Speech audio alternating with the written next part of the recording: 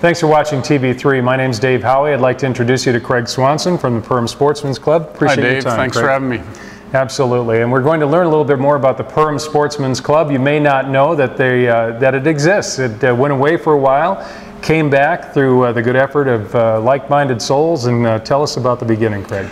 So uh, 10 years ago, it turns out, there was nine of us that got together in a, a little hunting shack just outside of Perham and we talked about forming a Perham Sportsman's Club, and we knew one had existed in a previous lifetime.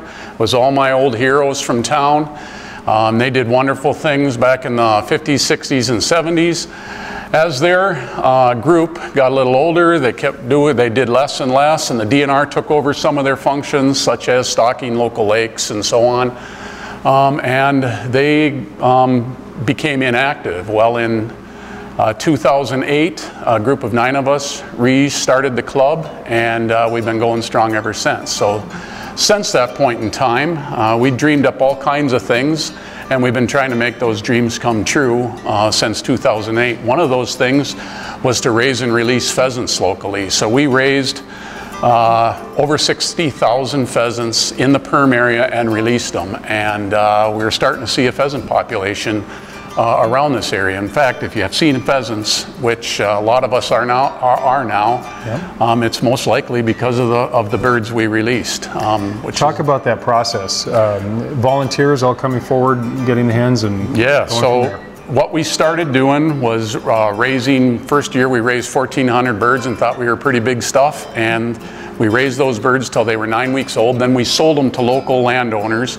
They would take those birds at nine weeks old, release them onto their property, and then babysit them. So they would feed them, water them, make sure they had good cover and predator control and so on. Well, then we went to uh, 10,000 birds a year, and now we're down doing 4,000 chicks a year, and our goal is to hit 100,000 uh, birds in the Perham area. I'm going to jump ahead to a question about your commitment to youth and bringing kids up into the sport of hunting and, and being outdoors. So we have 160 acres here just outside of Perham on Harvest Avenue. Mm-hmm. And three years ago, a gentleman in uh, New York Mills passed away and he left us 240 acres. So Perham Sportsman's Club now has 400 acres. We use the 240 acres gifted to us by Leo Kaler ex- exclusively for uh, youth hunts, and we do a youth mentored hunt. And these kids we draw from um, uh, some of them just would never have a hunting opportunity. Maybe they don't have hunting in their family. Maybe they don't have a father. Uh, maybe they do, but they're not interested in hunting. So then we give them that opportunity. We also do a disabled hunt on that same piece of land, and we've also uh, have nine guys that have stepped up to become uh, hunter safety instructors. So we do several classes a year of hunter safety to get those kids safe in firearms terrific program and, and just touching on some of the, the programming that's available through the Perham Sportsman's Club.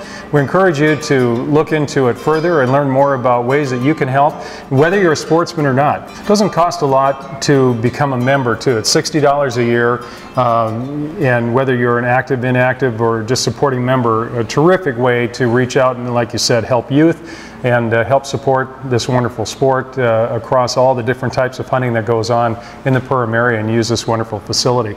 Um, do you want to just touch on some of the specifics of the, the building itself? One thing in our initial dreams was we wanted to um, collaborate with other groups like the Deer Hunters, the Ducks Unlimited, all those kind of groups. But that's tier one and that's the easy one to make. The second tier that we want to do uh, work with was Boy Scouts, Girl Scouts, 4-H, and now finally we're achieving that dream as well because the Boy Scouts, some of the troops are meeting in here and holding their den meetings here in our facility and we're super proud of that. We're super happy to be able to help and we have a community space uh, that they're able to use. So we're, we're continuing to meet some of our, our youth goals and our community goals and so on. We're here in a very short time accomplishing what we're doing with the Perham Sportsman's Club, and it's really just the beginning, and, and really excited about what the future holds. Learn more about it. There's contact information on your screen. Thanks for watching TV3. For the Perham Sportsman's Club, I'm Dave Howie. Craig Swanson, thank you. Thank you.